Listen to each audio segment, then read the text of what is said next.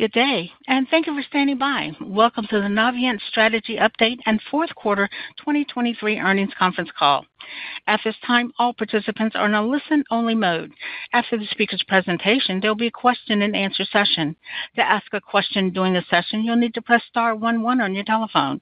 You will then hear an automated message advising your hand is raised. To withdraw your question, please press star one one again. Please be advised that today's conference is being recorded. I would now like to hand the conference over to your speaker today, Jen Earyes, Vice President, Investor Relations. Please go ahead. Hello, good morning, and welcome to Navient's earnings call for the fourth quarter of 2023. With me today are David Yowan, Navient CEO, Edward Bramson, Vice Chair of the Navient Board of Directors, and Joe Fisher, Navient CFO. Navient has a lot to share with you this morning and has posted two separate presentations that will be referred to during this call. Both are available on navient.com/investors. We will refer to a strategy update presentation, which you will find posted on our website. Our in-depth review and strategy update discussion may take us past the half hour. Following this update, Joe will discuss the fourth quarter results and outlook for 2024. He will refer to the fourth quarter 2023 presentation, which you will also find posted on navient.com/investors. After the prepared remarks, we will open the call up for questions. Before we begin, keep in mind our discussion will contain predictions, expectations, forward-looking statements, and other information about our business that is based on management's current expectations as of the date of this presentation. Actual results in the future may be materially different from those discussed here. This could be due to a variety of factors. Listeners should refer to those factors in the discussion of them on the company's Form 10-K and other filings to the SEC. During this conference call, we will refer to non-GAAP financial measures, including core earnings, adjusted tangible equity ratio, and various other non-GAAP financial measures that are derived from core earnings. Our GAAP results, description of our non-GAAP financial measures, and a reconciliation of core earnings to GAAP results can be found beginning on page 18 of Navient's fourth quarter 2023 earnings release, which is posted on our website. Thank you, and now I will turn the call over to Dave. Thanks, Jen. Good morning, everyone. Thank you for joining the call and for your interest in Navient. As you know, the board and management began an in-depth review of our business a few months ago. It's been a rigorous and comprehensive process. I've asked Ed Bramson, Vice Chair of the Navient Board, to join me this morning. Ed and I will describe the steps we're taking, their rationale and objectives, and what they mean for Navient. After that, Joe will share our Q4 results and 2024 outlook. We will then open it up for Q&A. There are three actions that we're taking coming out of our in-depth review: outsourcing loan servicing, exploring strategic options for BPS, and reshaping our shared service infrastructure and corporate footprint. At a high level and in the near term, these actions are intended to simplify our business, reduce our expense base, and increase our financial and operating flexibility. Over the long term, we believe these actions will increase the value shareholders derive from our loan portfolios and the returns we can achieve on our business-building investments. Let me turn to slide two of our strategy update. In May 2023, the executive team and the board launched an in-depth review of our business to ensure we were on the right path for success and value creation. This review has confirmed that changes are necessary for Navient to deliver its full value and potential. Our review included an extensive and intensive analysis of costs. We focused on the size, purpose, and allocation of all costs by business unit and shared service activities like IT, as well as unallocated costs within our corporate other segment. At the same time, we sought to benchmark and compare our costs of important activities, including loan servicing, to the costs of third-party providers. We analyzed our projected in-house servicing costs over the remaining life of our loan portfolio and compared it to third-party costs through a competitive RFP process. Our current costs were found to be comparable to third-party providers, but it was also clear that our in-house cost to service would not continue to be competitive with third-party costs as our legacy portfolio amortizes and our economies of scale begin to disappear. As a result, we've decided to transition to an outsourced servicing model. Once completed, this will create a variable cost structure for the servicing of our student loan portfolios and provide attractive unit economics across a wide range of servicing volume scenarios. Through our competitive process, we selected MOHELA as our servicing partner. MOHELA is a leading provider of student loan servicing for government and commercial enterprises. We are committed to a seamless transition for our customers in a few months' time. Many of our servicing employees are expected to transfer along with this transaction. Now to our second strategic action. Our in-depth review highlighted that a significant part of our cost base and infrastructure is shared between loan servicing and BPS, and especially within BPS's government services business. Both businesses involve many similar activities, such as call center operations, payment processing, and omni-channel customer interactions, such as telephony or text, among others. Given the earnings multiple the market assigns to our shares, our BPS businesses do not receive the value assigned to comparable standalone businesses. This limits our ability to realize these businesses' full potential and value, such as through larger investments in organic or inorganic growth, for example. Therefore, we are exploring strategic options for BPS, including but not limited to divestment, with the goal of realizing the full value and potential of these businesses. We've engaged financial and legal advisors to help us with these efforts and will provide updates along the way. Pursuing divestment simultaneously with the decision to outsource servicing maximizes the potential for shared cost reduction. We expect to be able to identify and more quickly eliminate stranded costs. Third, we intend to reshape our shared services functions and corporate footprint to align with the needs of a more focused, flexible, and streamlined company. We've identified opportunities, and some of the steps that need to be taken are included in our 2024 outlook. The full scope and timing of these opportunities will depend on the progress of the outsourcing and potential divestiture transactions. These will define any transition services requirements, as well as separation and stranded costs. If you look at our 2023 operating expenses, approximately $400 million, which is net of expected outsourced servicing expenses, could be eliminated under a scenario in which we had already completed the three steps we're announcing today. That scenario would also not include BPS revenue under a full business divestiture scenario. We expect to finalize all three actions during 2024. Their implementation is expected to be largely complete over the next 18-24 months. With that, let me turn it over to Ed.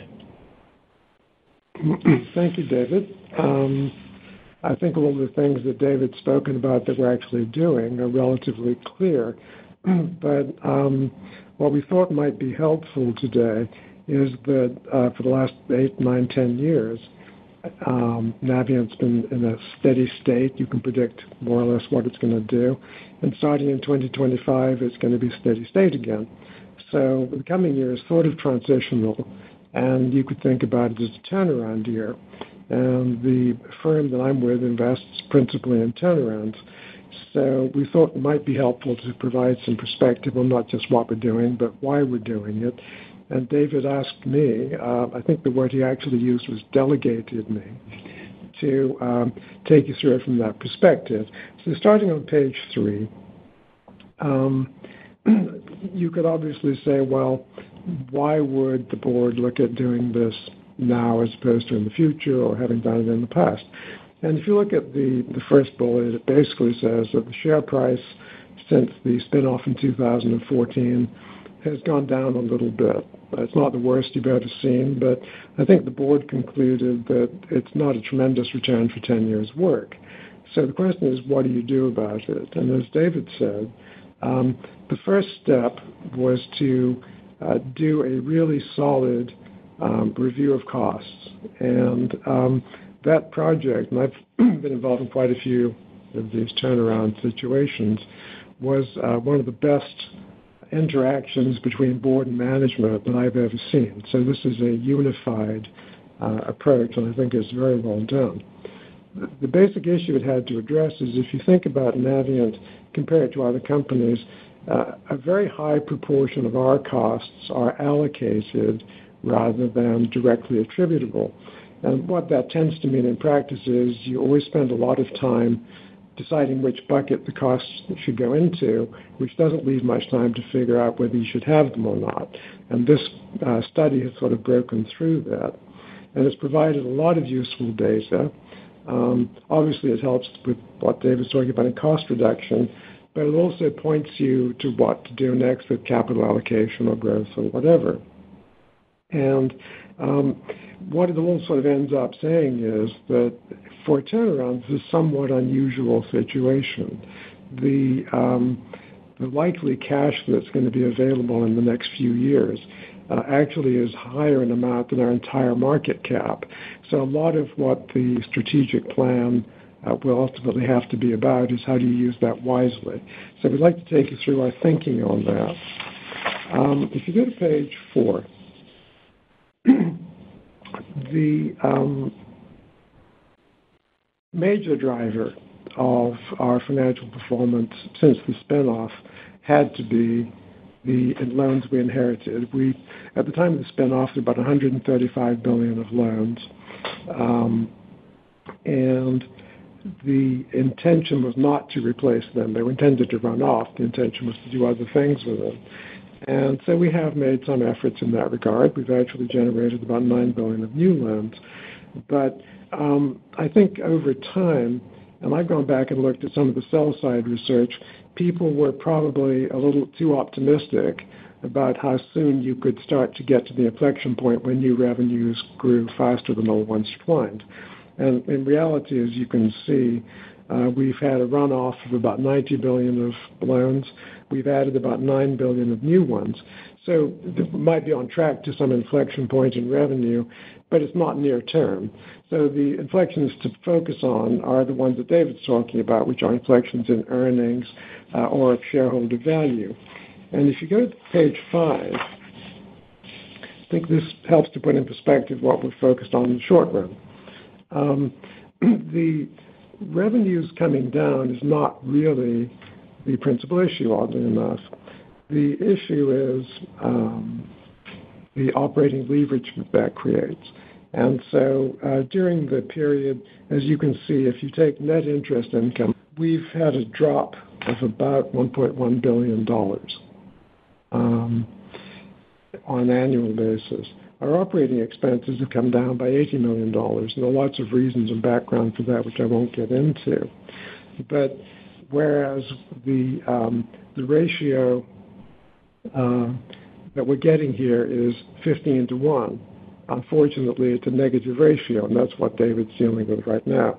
There's a second contributory issue that comes out of this, which we'll come back to a little bit later on, which is as the thought that the revenue inflection is coming fairly soon, has receded, you tend to get a reduction in the P/E multiple. And we'll get into what the consequences of that are in just a second. If you go to page six. Um, during the period, we did make a lot of investments. We bought BPS, we bought Earnest, did some other things. The biggest single investment we made was in share repurchases. And as you perhaps know, we have bought back since the spin-off about 75% of our original shares outstanding. And that program did what it was intended to do, which essentially was to maintain earnings per share. And the data in the table is a little bit messy. Um, there's a difference between GAAP and core. But I think it's fair to say that if you looked at it, it's maintained earnings flat to slightly up. So it achieved what it was intended to do. On the other hand, the problem we've had is because of the change in perceptions of strategy, uh, the multiple's been coming down. So even though the earnings per share are flat to up, because of our declining multiple, the share price has come down. That's an issue that we need to deal with as well, and we'll talk about that shortly. So with the, the joint project between board and management done, what are the immediate priorities? Uh, the first one is obviously to um, get your operating expenses down. And there are two elements to that. There's an obvious one, which is that um, the the loan portfolios, by and large, with one exception, are not designed to be replaced. So every dollar that you spend of overhead on them or Uh, other expenses connected with them just comes out of the value of the portfolio. So our biggest single asset today is the loan portfolios. The less money you spend collecting them, everything else equal, the better. Um, I think the more subtle issue is that our major future asset is the businesses we're trying to grow. And in an allocated environment, uh, as the legacy businesses shrink, their allocated costs get reallocated to new businesses, which are the ones you're trying to grow, which can't afford them. So they have the effect of smothering that effort. So that needs to be dealt with. And I think the other thing, coming back to the rising cost of equity, is this. If you accept that we're going to have a tremendous amount of cash relative to our market cap to either return to investors or invest over the next two, three years, there needs to be a discipline in how you think about it. So think about it this way. If we take $100 of cash, uh, and we put it into an investment, and it makes a 10% return, that's $10. At our current multiple, that means market value of $70 for the 100 you put in. That's not viable. You can't do that. So you either have to return that money or come up with something better. So where it leaves you today, and hopefully this will change, is you need to make about a 15% return on equity to justify doing anything. And if you do, it's sort of a wash. So uh, with that as a background, um, what we'd like to do on page eight, um, as David said, and I think I said at the beginning, this is a strategy update. It's how to think about the strategy. It's not the strategy. But the strategy is going to be driven by what do you have to work with. And on this page, we have the major components of the business. So the loan portfolios we'll cover in a second. Um, the uh, other items we have, we have quite a large amount of unrestricted cash, and we have two operating segments. We have Earnest and we have BPS. And both of those have some interesting aspects to them. We'll cover a little bit in brief. If you go to page nine, this is the loan portfolios. Um, okay, so the first Uh, piece of the portfolio is our is our loan assets.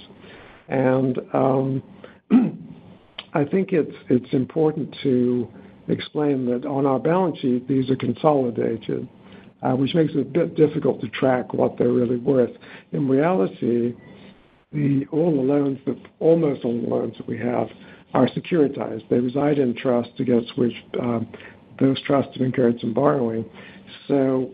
The real economic interest we have in the loan portfolios is what we get from those securitization trusts. And that's a combination of future net interest income, servicing fees, and the initial equity that we put in that comes back at the end when the trust is liquidated. So if you take those inflows, uh, the table sort of puts together the things that you've seen before, but maybe not in one place. And what it essentially says is that the expected distributions to us from the trusts are about $13 billion. Against that, we finance it in part with unsecured debt, which is a little less than 6 billion. So there's somewhere in the region of $7 billion uh, to come in from those trusts over time as we speak. And about half of that looks like it comes in in the next five years. However, it does cost some money to get from there to what shareholders receive.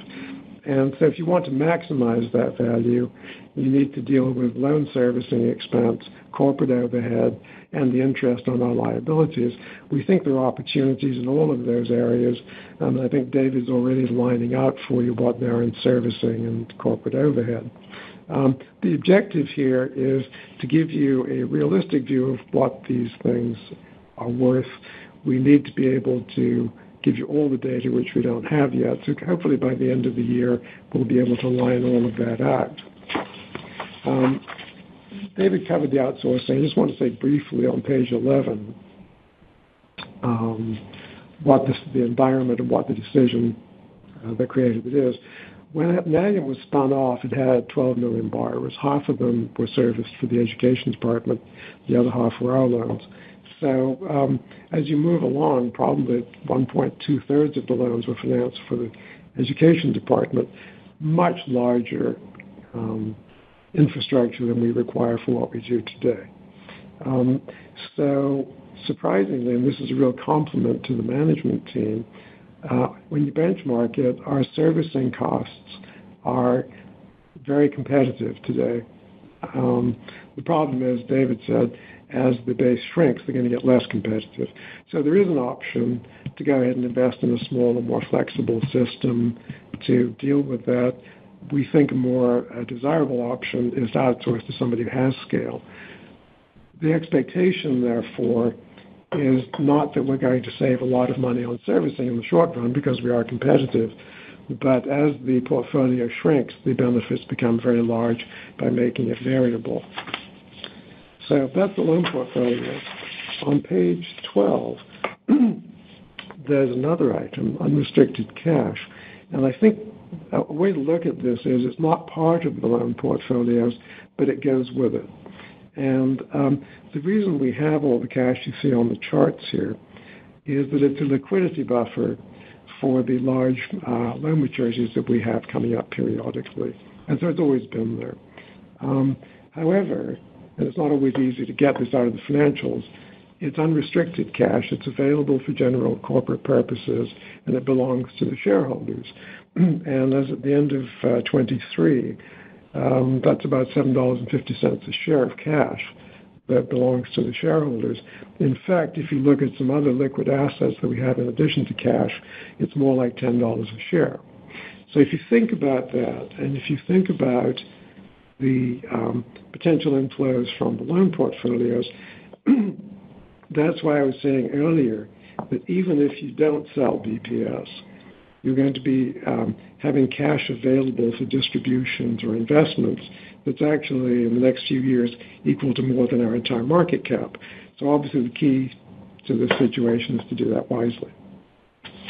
Um, so if we go to page 13, Um, I think from what I said earlier, it's sort of obvious in which circumstances you would just return cash to shareholders.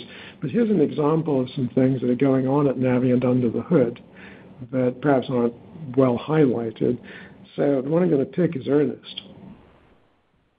And Earnest is something we bought five years ago or so. But the point is that it's a new brand to um, um, Navient, and it's customer-focused, and it's designed to focus on relationships. And what we mean by that is a relationship is something that causes a customer to come back for another product after he got the first one. The reason you want that is it enables you to build attractive uh, lifetime economics with customers. In that sense, it's distinct from the Navient brand. There's nothing wrong with the Navient brand, but it's a servicing brand. So the interaction you have with it is collecting a loan that might have been written by the education department, or maybe it's one of our old ones. We do the best we can to treat you properly. Uh, we try and be efficient and you know, sympathetic to the extent necessary. But at the end of that relationship, you don't expect to see us again. So it's not the right sort of brand to build a business in the future. So Earnest has been going for a while.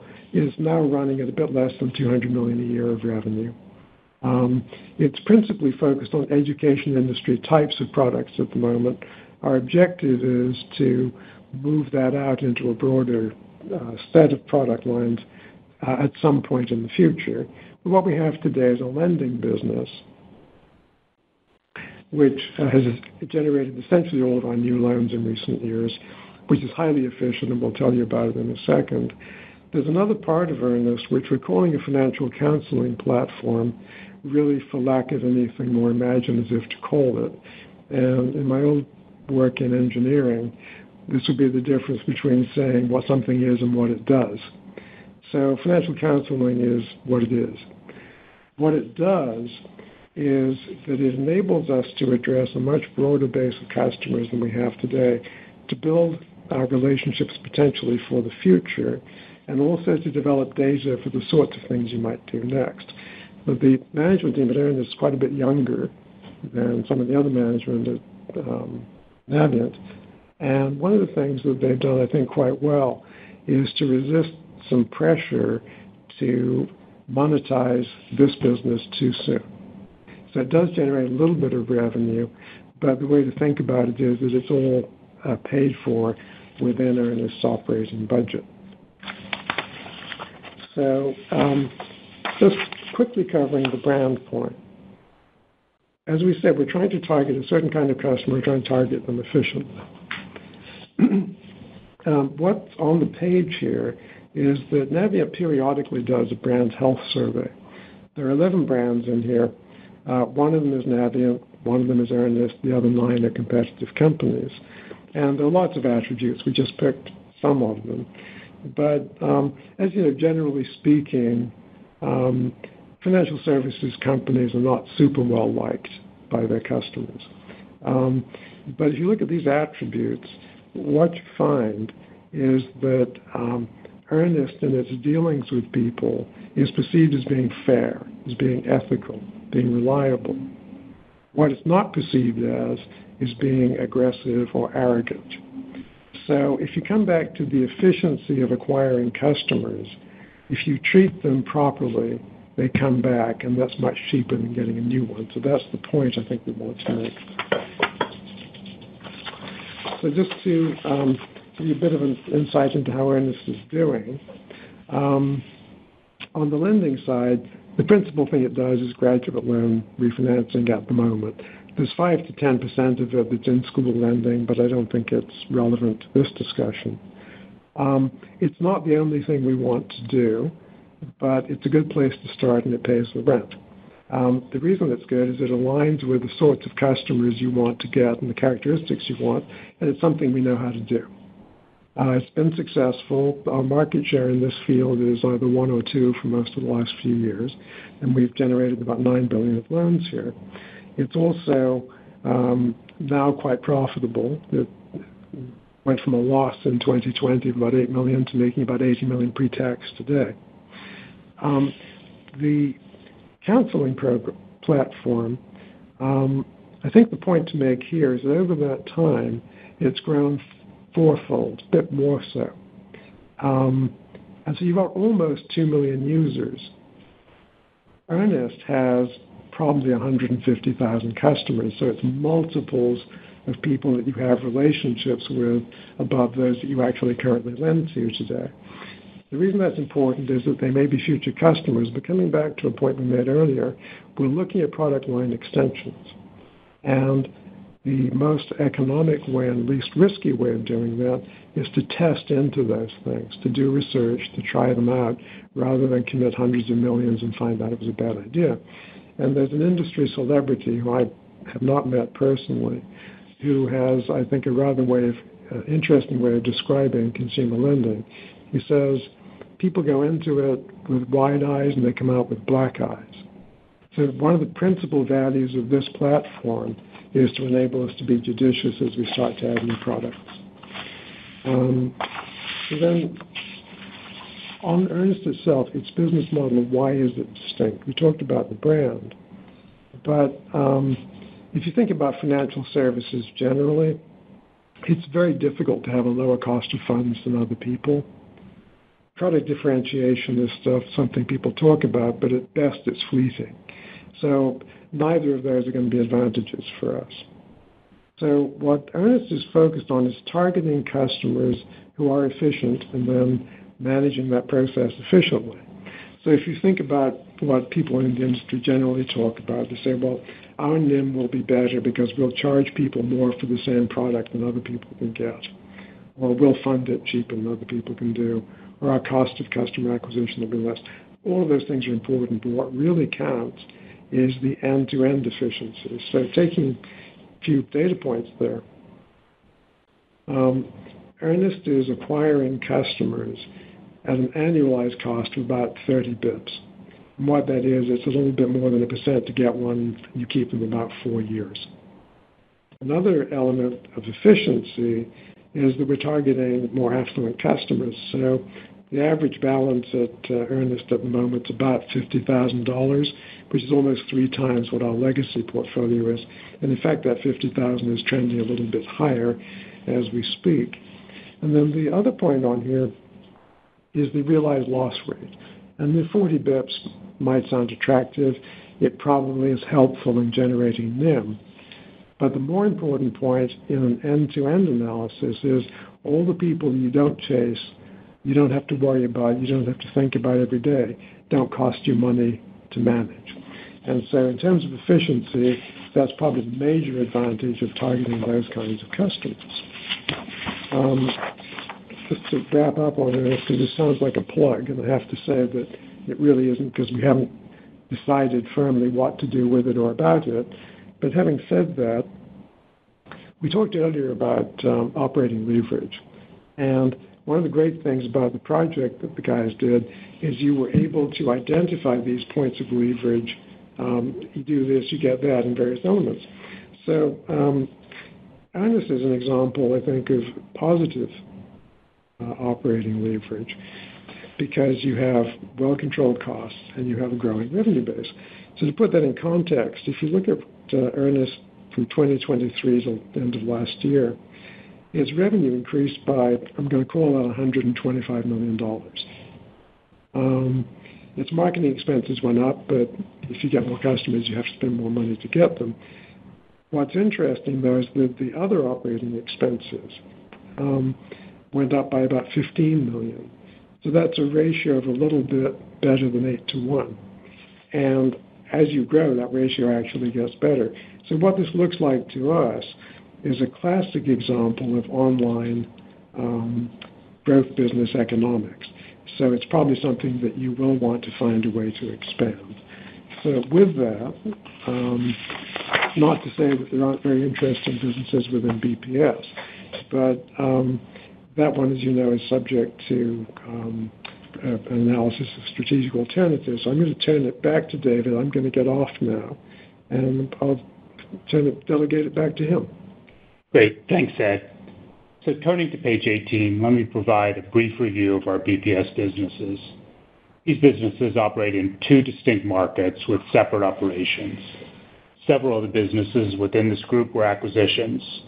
Our healthcare business goes to market under the Xtend brand.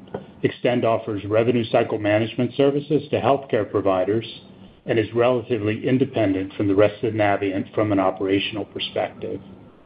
The government services and transportation businesses operate under several brands and provide a variety of services to federal, state, and local governments. Its operations share costs, infrastructure, and corporate support with the rest of Navient, particularly loan servicing. While we're at an early stage in exploring strategic options for this business, we will keep you updated as that process unfolds. Let me try to summarize on slide 19. We have identified and we're taking steps to significantly reduce the expense base and simplify the company. These actions are designed to increase the value of the cash flows from our loan portfolios and increase the returns and transparency around growth initiatives. The cash we have on hand, the enhanced cash flows from our loan portfolios, and the proceeds of any divestiture of BPS combined could generate significant cash flows in excess of our current market cap over the next few years. We will invest that cash in activities that are expected to generate market value in excess of the invested cash. Excess cash will be distributed to shareholders. Shortly following my transition from the board to the role of CEO, I shared with you my initial impressions from inside the company, namely that Navient has a strong foundation of assets, capabilities, and talent. I also said that we would undertake a rigorous review to identify ways in which that foundation can deliver more to shareholders. These actions are the first steps in delivering our full value and potential, and we look forward to providing updates on our progress. With that, I will now turn it over to Joe to review our Q4 results and provide our 2024 outlook. Thank you, Dave and Ed, and everyone on today's call for your interest in Navient. During my prepared remarks, I will review the fourth quarter and full year results for 2023. I will also provide more detailed guidance underlying our 2024 outlook for earnings per share of $2.10-$2.30. Our 2024 outlook does not assume any of the strategic actions that we are announcing. It does not include potential benefits from the transition of servicing, any potential divestitures, or any restructuring expenses related to these initiatives. This outlook also assumes a declining rate environment with four rate cuts. We will update our financial outlook throughout the year as these actions become clearer. In 2023, we reported a fourth quarter GAAP EPS loss of $0.25, bringing our full-year GAAP EPS to $1.85. On a core basis, we delivered fourth quarter EPS of $0.21 and full-year EPS of $2.45. The $0.21 includes a $0.49 reduction to EPS related to significant items in the quarter. Before I move on to the segments, I will provide further detail on two of these items. First, we have increased our accrual by $28 million in connection with the CFPB litigation, bringing our total accrual to $73 million. We remain confident about the strength of our case while open to finding a solution that is acceptable to all stakeholders in order to put this matter behind us.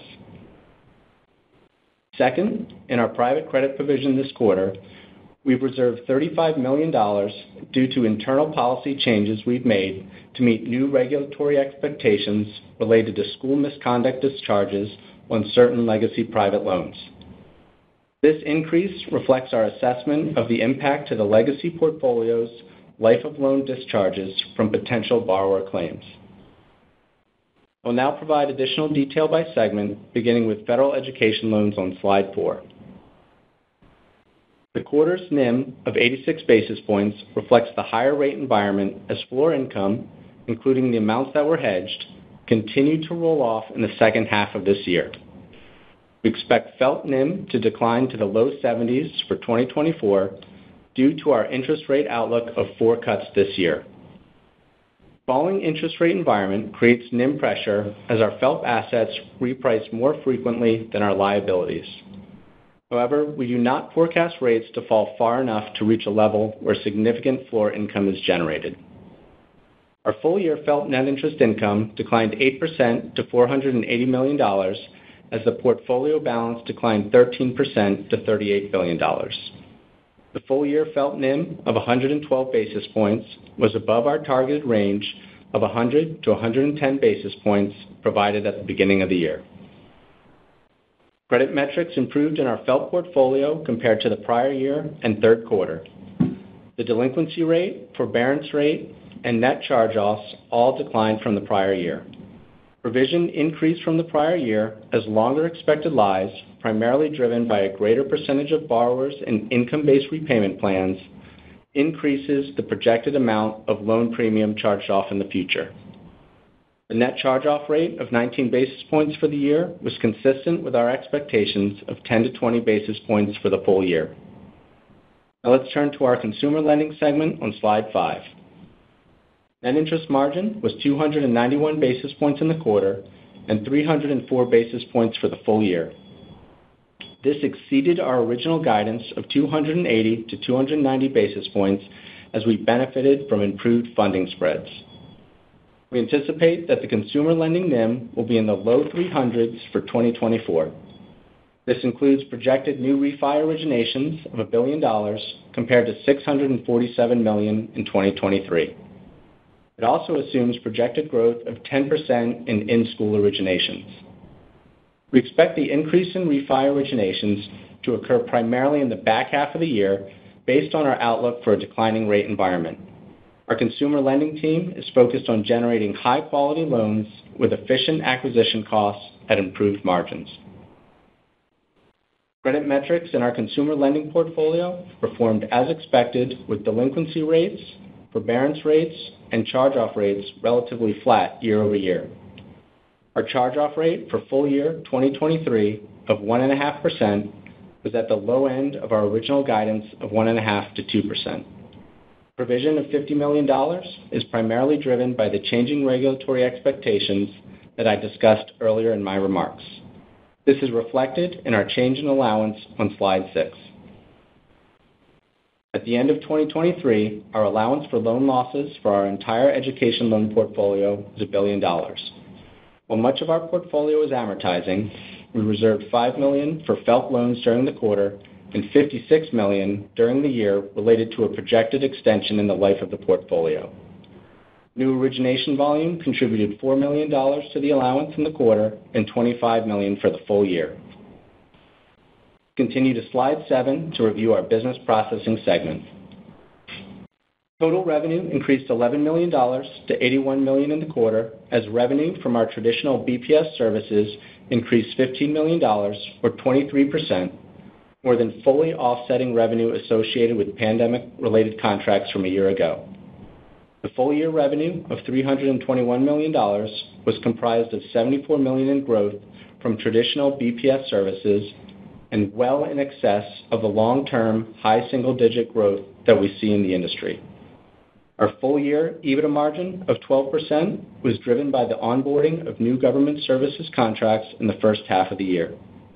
Our EBITDA margin of 15% in the quarter reflects the benefit from ongoing efficiency initiatives as we target high-teen EBITDA margins for 2024. Turn to our capital allocation and financing activity that is highlighted on slide eight. We continue to maintain disciplined asset liability and capital management strategies with 84% of our education loan portfolio funded to term and an adjusted tangible equity ratio of 8.2%. During the quarter, we issued $516 million of asset-backed securitizations and $500 million of unsecured debt. We also retired $850 million of maturities that were due in March of 2024. Our overall unsecured debt maturities declined by 16% to under $6 billion, the lowest levels in our history. In the year, we reduced our share count by 13% through the repurchase of 18 million shares. In total, we returned $388 million to shareholders through share repurchases and dividends. We expect the adjusted tangible equity ratio to remain above 8% for 2024. Turn to expenses on slide nine.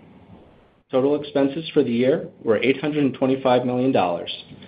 This includes 80 million of regulatory expense primarily related to accruals in connection with the CFPB matter. Operating expenses declined 32% in the federal education segment and 10% in the corporate other segment when adjusting for regulatory expenses. We achieved an efficiency ratio of 53% for the year, better than our original full-year outlook of 55%-58%. The strategic initiatives we are undertaking reflect our commitment to identify additional and more meaningful opportunities to reduce expenses.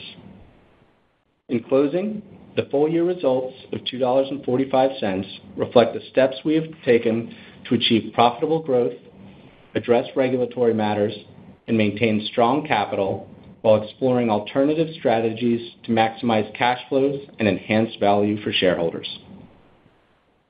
Our full-year 2024 outlook of $2.10-$2.30 does not include the impact of strategic initiatives that Dave and Ed outlined occurring this year, though we are confident in our ability to execute on these initiatives. Before I close, I want to thank Team Navient for their accomplishments this year and continued commitment to creating further value for all of our stakeholders. Thank you for your time, and I will now hand the call back to Dave. Thanks, Joe. As I said at the outset, we had a lot to share this morning. While we pursue the actions we're announcing today, we remain focused on meeting the needs of our borrowers, on growing our BPS businesses by delivering the services our customers and clients seek from us, and with Earnest on growing loan originations and building engagement and deepening relationships. We will update you on our progress and call out the impacts within our 2024 results as needed. As they come into sharper focus by the second half of the year, we expect to be able to provide a revised outlook and our going-forward opportunities and plans.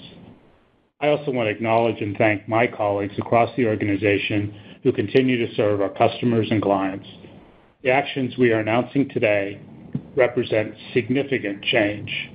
I know that as we navigate these changes, our team members will remain committed to servicing our customers and clients with distinction and care. With that, we're ready to move to Q&A. Thank you. As a reminder, to ask a question, you'll need to press star one one on your telephone. To withdraw your question, please press star one one again. Please wait for your name to be announced. We ask that you please limit yourself to one question and one follow-up. Please stand by while we compile a Q&A roster. One moment for our first question, please.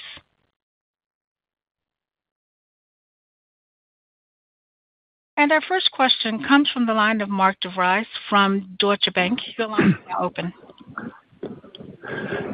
Uh, yes, thank you. Um, was hoping you could give us a little better sense of kind of the net financial impact of these three major steps you talked about. I mean, the 400 million of expense saves are obviously pretty significant, but um, I believe it's less than kind of the consensus expectations for BPS revenue as we look out to 2025. So how should we think about kind of the net impact to earnings and also how much, you know, incremental capital you may free up, either through the sale of BPS, to kind of offset any kind of potential earnings dilution? Great, Mark. Thanks for the question. Um, first, let me clarify uh, the scenario that um, we're using when we um, refer to the $400 million of expenses. So the scenario assumes that we have completed our outsourcing transaction, the one that we announced uh, this morning. We have divested BPS in its entirety, and we have taken the steps to reduce our shared service footprint and our corporate footprint to reflect those two transactions. So that's the scenario that underlies it. When you think about the financials of that, you might start with BPS and look at our 2023 actuals to uh to calibrate this. During 2023, we had roughly $325 million worth of revenue in BPS, and we had $280 million worth of expenses. So neither of those would be present under this scenario. Our servicing expenses would no longer be present. The first-party servicing expenses that we incur today would no longer be present as well. Our shared service expenses, many of those shared between loan servicing and BPS, would no longer be present, as well as a smaller corporate footprint would mean that our operating expenses would be lower under that scenario. Now, we have to add back the fact that we would now pay our outsourced vendor for our servicing, uh, for servicing our loan portfolio. So you bucket all those things together, and the cumulative impact on operating expenses is a reduction of $400 million, with a revenue decline of $325 million. That's how it would impact in 2023 actuals. Now, it's important to note that when we talk about uh, finalizing these actions in 2024, what we're talking about is becoming more certain about what that scenario actually is. We have we're farther along in the outsourcing process, and so we have more confidence and more visibility. Not perfect yet, but we have more confidence and more visibility into what that will look like during 2024, and we'll share those impacts with you. We're less far along in the process relative to BPS, and so we'll keep you updated along the way as we determine whether, in fact, we do divest all of it, as in that scenario, and uh, or whether there's some variation of that. The shared service reductions and the corporate footprint reductions, the timing of those and the nature of those depends on those first two transactions as well. For example, if we uh, don't sell all of BPS, for example, then we may have more stranded costs to take out than if we sell all of it in in a piece, as an example of that. The um, other pieces that we have not uh, that are not in the outlook is um, is both the nature of the transactions that we end up doing, so what will be the scenario, and then if we sell BPS, what are the sale proceeds? So when we talk about giving greater visibility into the second half of the year, we're talking about at that point, we will know what the scenario is, and we'll have greater visibility into the timing and the amount of any transition items that get us there. Hope that's responsive, Mark. Yeah, that's that's helpful. Thank you. And just a follow-up on BPS. Is is the divestiture there kind of an imperative, just given the decision to outsource um, servicing, given some of the significant shared expenses, at least on the government services side? Um, if so, is it is it also, you know, possible to hold on to healthcare, just given it doesn't have the, you know, as you mentioned, it's more self-contained, it doesn't share the same kind of corporate expense? Yeah, I think you're thinking about it exactly the way that we're thinking about it, Mark. Um, I think Ed commented on this in his remarks. I would think about the timing of BPS and our decision to explore strategic options is absolutely tied to our decision to outsource, because we have this significant shared service infrastructure, and it makes sense to make a decision about those and analyze those as close to simultaneously as we can. Um, we will look at, uh, so I wouldn't call it imperative, I would call it, uh, the timing makes sense for us. And then, as you indicate, there's, and as we called out, there are different uses and different uh, reliance on that shared service infrastructure, even within our BPS businesses. We'll clearly uh, consider that and think about that as we decide on the scenario that we follow for that particular business. Okay, great. Thank you. Thank you. One moment for our next question, please. Our next question comes from the line of Arren Cyganovich with Citi. Your line is now open. Thanks. Um, just thinking about it from a high-level perspective, if if you exit BPS and your, you know, your remaining businesses are very much, you know, simplified, you have a runoff portfolio that you've had, you know, all along, and you have Earnest, which you laid out some of the benefits there. But Earnest is a little bit challenged in the near term, it seems like, just from, you know, its primary business has been student loan refi, and and that's, um, you know, facing some challenges because of the interest rate environment, and the in-school business is quite small. Um, you know, I guess, what's what's really left to to provide growth, um, you know, if you're if you're exiting BPS and you have this runoff portfolio? Thanks for the question, Arren. I think a couple of things I'd call you to. First, I'd go back to um, Ed's remarks and the way we're thinking about Earnest uh, in terms of not just a lend-centric or lend-first model, but a way to establish relationships and engagement with the student cohorts that I think sets us up and gives us some optionality going forward to decide whether there's other product lines or other services that we can provide to that cohort. I would also point out that our the loan origination targets that Joe described for Earnest do represent a 40% growth on a combined basis, refi and SLO, uh, compared to uh, our actuals for 2023. So I think that's, you know, a significant growth rate and a demonstration of our confidence and commitment in our ability to compete effectively in those in those in those markets, while focusing on our overall efficiency in creating those assets. That's really uh, the goal that we have, is is to continue to minimize and optimize our cost of acquisition, our collection costs, by selecting the right customer segments that allow us to continue to grow on uh, that uh, financial trajectory that we've shared, I think, for the first time here this morning. Okay. And then um I was wondering if you could also provide any additional color on uh, the 28 million of contingency loss. Uh, you cited some recent developments in the CFPB matters.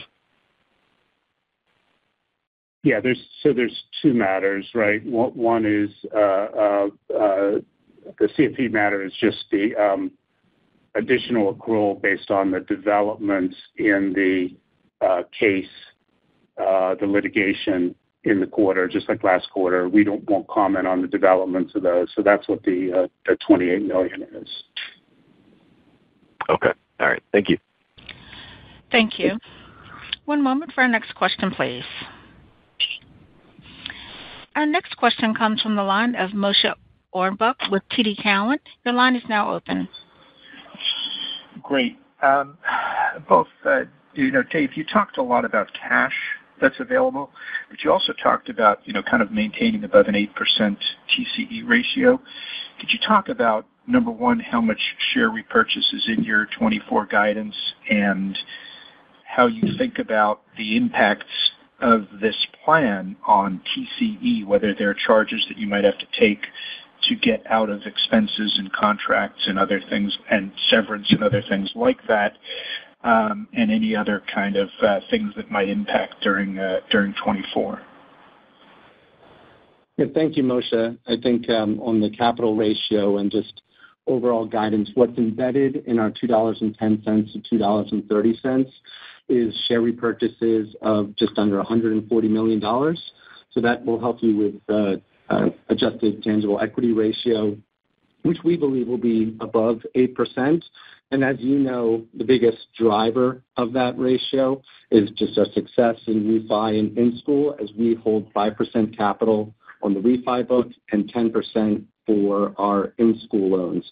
So that's going to be the biggest determinant of how far above or um, really above that 8% range that we end up. And the big driver of that is just going to be what you think about uh, obviously the interest rate trajectory for the back half of the year.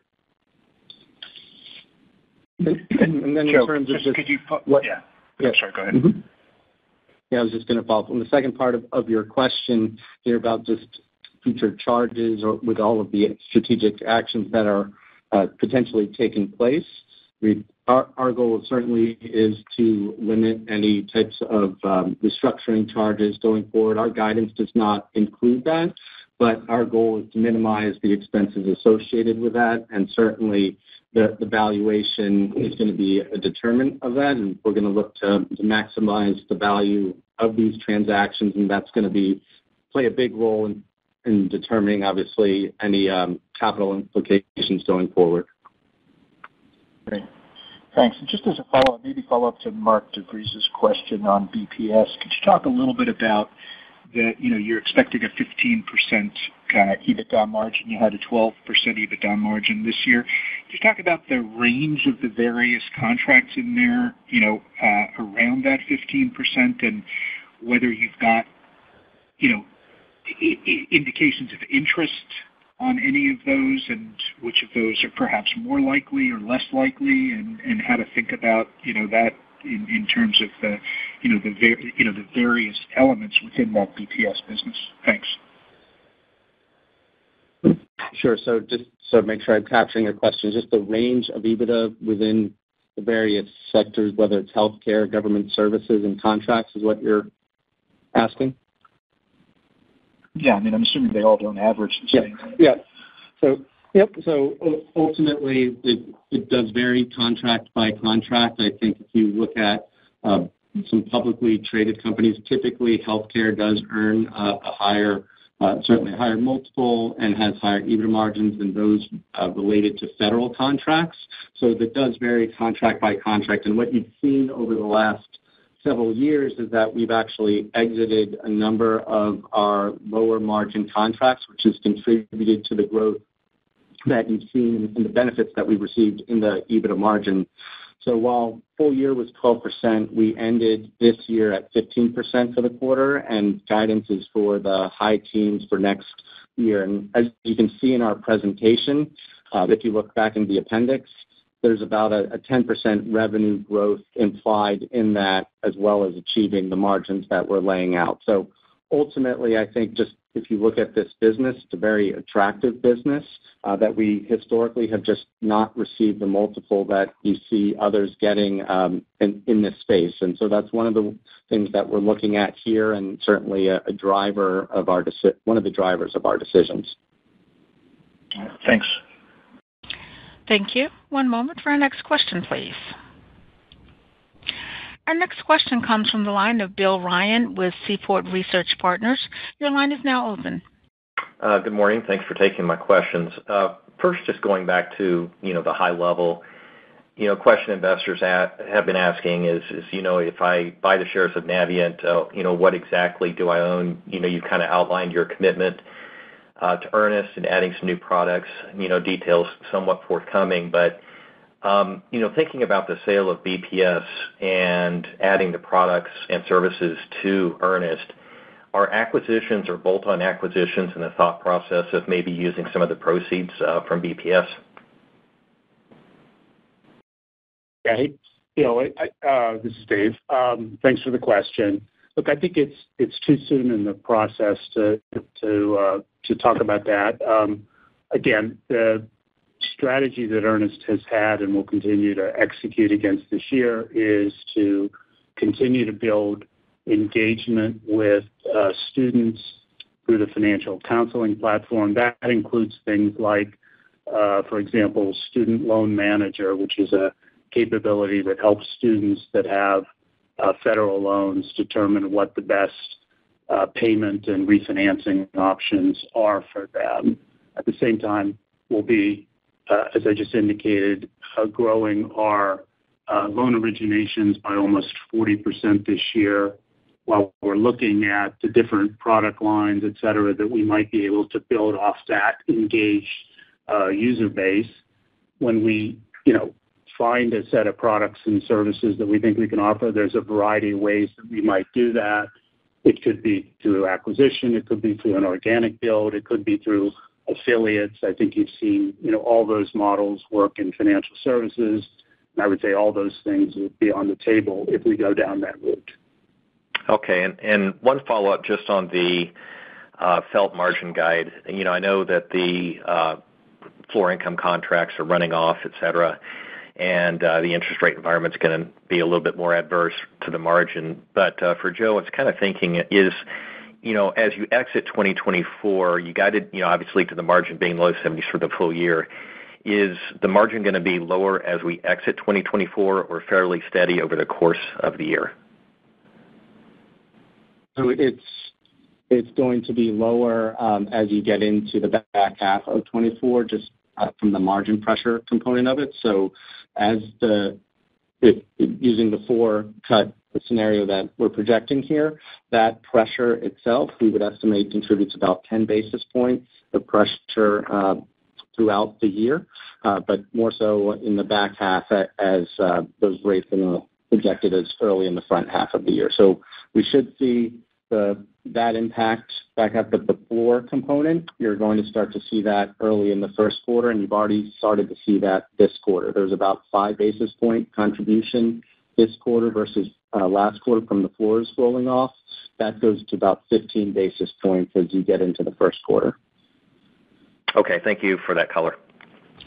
Thank you. One moment for our next question, please. Our next question comes from the line of Sanjay Sakhrani with KBW. Your line is now open. Thank you. Good morning. I want to go back to slide nine because to me it seems like that's the most critical part of the story going forward. Um and it seems like the name of the game should be trying to optimize the flow-through of all these cash flows. And I know that's sort of what you're working on with all of these initiatives.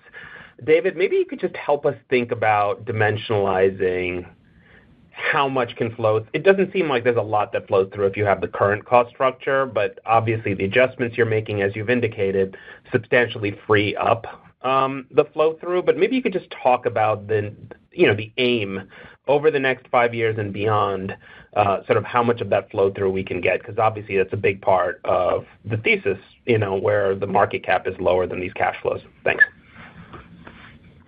Thanks, Sanjay. Uh, good morning. Uh, so there's a couple pieces to that. I'd say I just, uh, one piece is just the um, financial implications of the three strategic actions that we took that I ran through the financials a bit earlier. So I'd call you back to that. That clearly, in that scenario, reduces expenses by more than the revenue that would no longer be present in the company. I think the second thing is that moving to a variable um, uh, servicing model has some pretty powerful leverage for us relative to where we are today. We don't project for you our servicing costs out over the remaining life of the loan, but I think you can think about that in terms of we have a fixed cost base, and we have a variable cost base. And so as loans uh, uh, pay off and the portfolio amortizes as it has done Uh, on a net basis for all but one year in Navient's history, uh, when we originated $6 billion of refi loans in 2019. So In that amortizing scenario, you've seen the variable costs come out as the loan count goes down. But at some point, that uh, fixed cost base doesn't go down as rapidly as the loan counts are going down. And so the variable cost model, Uh, we think produces significant, not just operational flexibility, but significant, uh, substantial uh, financial benefits as and if the loan portfolio continues to amortize, that's very different than the model that we have today. And I think the third piece is just the financing piece and the cost of that, both unsecured and secured liabilities. Have the team has done a terrific job over the years of optimizing and reducing that. We think there's some other opportunities that give us some optionality and flexibility that we're gonna be looking at over the coming months. I think those are the three buckets. It's largely reducing the uh, corporate footprint and the uh, business profile that is slimmer and leaner, that includes a corporate expense reduction. It's the moving to a variable cost model and then uh, reducing our uh, cost of financing as well. Those are the three levers that we have. Okay.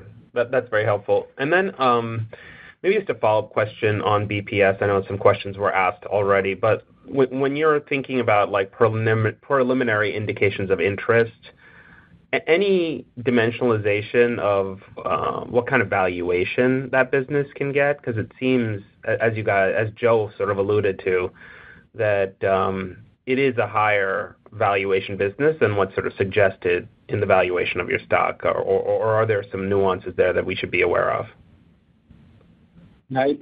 Thank you, Sanjay. I think it's just too early to comment on that, but I would just point to uh, public companies in that space, and you can look at the multiples both on the healthcare RCM side as well as government services BPS, and then just more diversified uh, BPO businesses all receiving a higher multiple than what we receive today. Could I just ask one more question on in-school originations? Is that no longer gonna happen or? Because I don't think I heard anything about that, but maybe you could just clarify on that. Thank you. I think as Dave reiterated in my comments, so we're looking to grow 10% on the in-school side and overall just from a origination perspective, you know, north of 40% when you combine refi and in-school. So we're certainly very committed to growing this uh, business here. All right. Thank you. Thank you. As a reminder, to ask a question, you'll need to press star one one on your telephone. One moment for our next question. Our next question comes from the line of John Hecht with Jefferies. Your line is now open. Uh, morning, guys. Thanks for the update, um, and thanks for taking my question. Uh, one point of clarification. Uh, David, you mentioned, I think it's 400 million of kind of identified potential cost saves, that would come with $325 million, that's, I guess, the BPS revenues. I just wanna clarify, is that net um, of the outsourced servicing, or does that include the total concept of the outsourced servicing? So thanks for the question. When we say net, it means it considers the fact that we would need to pay an outsourced provider for servicing our loans. So that's what so it is included, and the expense reduction is net of what we would pay to that provider. So that those are that's how we would think about it. And I would just remind you that those numbers that we're using are based on 2023 actuals. So if you had that scenario and that was in place for 2023, that's where we got uh, the volumes and the amounts that we've shared with you. Okay. Um, second question, uh, uh, I think Joe said the originations in Earnest, the refi originations would be more back-weighted just because of interest rate reductions. I mean, maybe a little bit more kind of information on the cadence there and how sensitive are originations to rate cuts um, in that segment. I think certainly, uh, as rate cuts can, if that does happen, I think there's a tremendous opportunity, certainly, uh, especially if it's beyond four rate cuts. So the way I think about it is that if I'm looking at the first quarter, fairly similar to what we've seen in this fourth quarter, and then starting to pick up in the back half of the year. Uh, as you know, just think about the scenario that I'm referring to. As you get 50 basis points, 75 basis point cuts overall, uh, that should be more of an impact than what you're seeing today. So that growth should occur and be more backloaded, and then more backloaded to, obviously, the fourth quarter versus the first quarter, just depending on where rates are. Okay. And then, um, a final question is, uh, Earnest, if I can, um, you know, I know this is out there, but Earnest, you talked about incremental products and services. You know, is this gonna be lend-centric business or, or is there gonna be other fee-oriented products? And if so, could you just give us some maybe examples of what those might look like? Yeah. I think uh, both things are on the table. Obviously, uh, from a number of a good mix. I mean, Earnest is a consumer-centric enterprise. So the first thing to do will be to try to find and identify unmet needs or needs that uh, customers have that we can serve. I think we've done a nice job of demonstrating that, particularly in the refi space. And then if you think about product line extensions, you know, that would encompass uh, potentially both additional lending products, but also uh, potential fee-generating products rather than lending products as well. Again, that could include Um, uh, third-party referrals based on our cost of acquisition of a customer. It could involve other kind of um, uh, products. That that work is underway. We have, uh, as we asked, we've asked for some time to come back to you later in the year with, you know, where we come out on that, give some initial thoughts. Okay. Thanks. Appreciate that. Thank you. Thank you. One moment for our next question, please. Our next question comes from the line of Rick Shane with JPMorgan. Your line is now open. Um, thanks everybody for taking my questions. Um, look, when I think we reflect on the last six or seven years, um, in terms of capital returns, both to equity holders and bondholders, I think you guys have done a good job.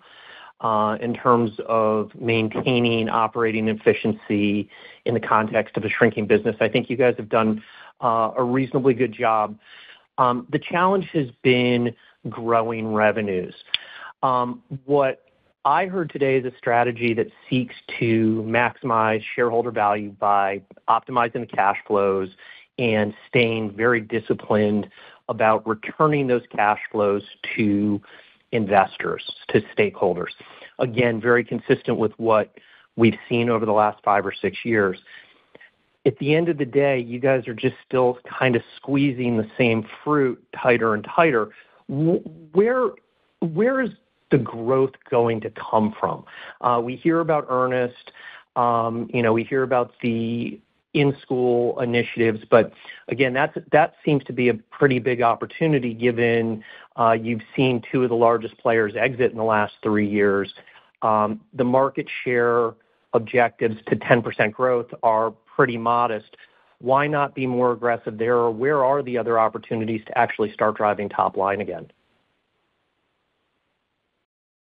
Thanks, Rick, for the question. You know, I think I'd go back to while we have done, uh, I think the team has done a good job of managing the expenses over time in a shrinking portfolio environment. What we're trying to communicate today is that there's uh, a lot more work that these three actions are designed to address. And it's not just about expense reduction, but as Ed indicated, that overhead, if you will, in a broad sense, the shared service uh, functions, the corporate overhead, and our cost of equity all conspire to make growth initiatives more challenged than they need to be, right? Because the portfolio is shrinking. If we don't get rid of those um, central costs, then they get allocated to growth initiatives that burdens them in a way that, you know, doesn't allow them to reach their full potential or give us the capacity to make them. So the first thing what we're trying to accomplish is actually to unburden the growth initiatives that also at the same time and in the same way increases our capacity to invest by increasing the amount of legacy loan cash flows that we have a decision to make, a capital allocation decision to make about return and otherwise. With respect to the Earnest growth proposition, I think, you know, we tried to lay out what Earnest has accomplished over the last three or four years. I think that's impressive from a financial perspective. Brand uh, health is a good indication that Earnest has found a way to surprise and delight the customers that it engages with in a customer experience. I know that in, and Ed indicated this, my experience in financial services is that's a really hard thing to do, and they've accomplished that.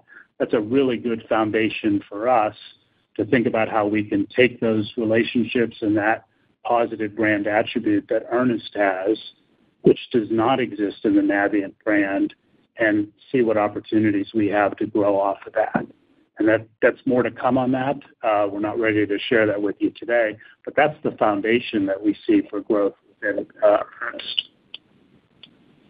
Got it. Look, I the the track record at Earnest has been very good, and obviously, Um, the movement in rates has been a headwind, but that's, I mean, that's beyond your control. I think in hindsight, that's proven to be a very thoughtful investment and ultimately uh, will create value.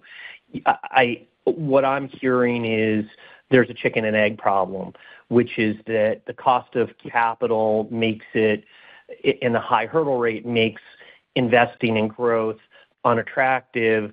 But because there's no growth, I think the cost of capital is is elevated. Um, you guys, in your slides, link the multiple compression uh, to the decline of efficiency, and I think that that's a very fair conclusion. Um, but I would suggest also that the decline in multiple is really a reflection of top line shrinking almost every year for the past decade.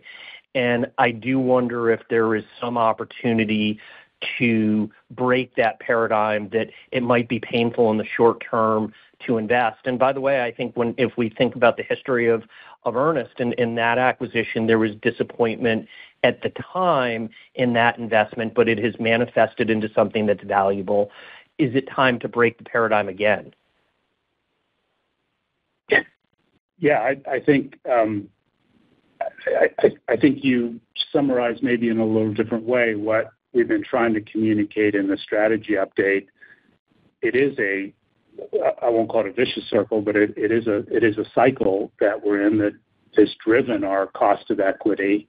And so we're addressing the things that we can address, which is to give ourselves some financial capacity and flexibility, give investors more transparency on the growth initiatives. I think this is the first time we've broken out Earnest financials. It's been within the consumer lending segment, which has both private legacy runoff and uh, uh, Earnest growth within it. Uh, so we're trying to provide the transparency to the market so you can more clearly see the growth and get a sense of the growth potential and the opportunities within Earnest.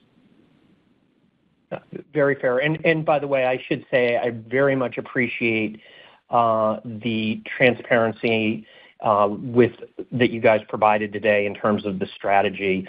Uh, it's very helpful and one of the more honest things we've seen in terms of companies sharing their outlooks ever. So thank you very much. Thank you. Thank you. One moment for our next question, please. Our next question comes from the line of Jeff Adelson with Morgan Stanley. Your line is now open. Hey, guys. Good morning. Thank you for taking my questions. Um, I guess I just wanted to circle back on Earnest. And you know in slide 13, you've talked about how it's currently profitable at the $200 million uh, revenue run rate and appreciate the new disclosure there. Um, I'm just curious, is that more of a run rate today in this environment where originations have slowed and you don't, you know, I know this is a revenue number, just trying to understand how to think about the profitability of the business over a cycle, um, where you where you think kind of the core returns or return on equity could be for that business over the longer term. Because, you know, as you lean into originations uh, later this year, presumably next year, that does come with that higher CECL reserve charge at first, and it sounds like you're going to be building out Um, and adding on some products, which which probably at first will cost some money. So just trying to think through what you think the um, the profitability metrics and returns are for that business. No, you're right, Jeff, to bring it into the CECL accounting here. The more successful we are in terms of the refi environment, the higher provision that it's taken, so that impacts the current year.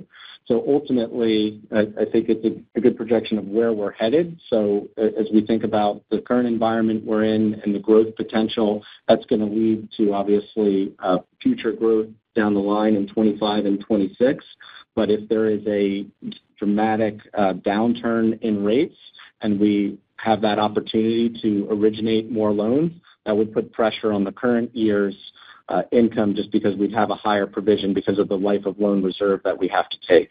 So it's a good way to think about it is that if you think about just the interest rate environment last year and the shift, we would have had even higher net interest income coming into this year. But because of the higher interest rates, uh, it's been about that 200 million run rate. But the opportunity for growth going forward is going to be primarily driven on the refi side by the opportunities here in the projected rate environment. Jeff, I would just add, you know, I'd encourage you to look, as I know you did, at 16 and 17 as well, because 16 talks about the overall efficiency of loan originations from a cost of acquisition, from a servicing cost, uh, and from a reserving perspective. and then 17 by breaking out the marketing expense. Obviously, that's going to be variable with our cost of acquisition. Uh, you can see it on page 17, actually, the uh, operating leverage, the positive operating leverage that Ed referred to uh, implicit in the kind of distribution model that Earnest has. So uh there's a you know temporary there'll be an increase in marketing expense and and um, and provision expense, excuse me, with higher originations. Um, Uh, we expect to continue to have operating leverage on that other line. And obviously, those originations are building uh, a revenue stream to increasingly fund additional originations or some of the growth strategies that we're talking about. Okay, great. As my follow-up, um, just want to circle back on John's question on the uh, cost to outsource. I know you're you're discussing um, how it's netted out of the number and that you're moving to a more variable cost model there. But could you maybe help us understand what how to quantify what that cost to outsource is? Uh, yeah. So look, I think we've said a couple of things that I would just refer you to. You know, First of all, when we did the outsourcing um, uh, or the RFP exercise, we did find that our current cost is comparable. And so we're not uh, pointing you or guiding you to look to a significant reduction in servicing expense in the near term. Uh, we won't be pointing to that, and you shouldn't look and find that. But if you go to the loan cash flow page that we have and think about the tenure of the portfolio that we have over the lifetime of that loan, having our servicing costs 100% variable versus a mixture of fixed and variable, we think has some really powerful operating leverage to us over the remaining life of the franchise. And I'll just leave it at that. It's a question of, um, it's not a lower unit cost. It's a different mix between fixed and variable that drives operating leverage that's not present in our uh, current cost structure and our current servicing model. Got it. Thank you for taking my questions. Thank you. And that is all the time that we have for questions today. I'll turn the call back over to Ms. Jen uh, Earyes for closing remarks. Thanks, Norma. I know that there are remaining questions that we have not been able to field this morning. So please contact me if we were not able to take your question, or if we were, um, if you have any other follow-up questions, happy to chat. We'd like to thank everyone for joining on today's call. This concludes our call. Thank you.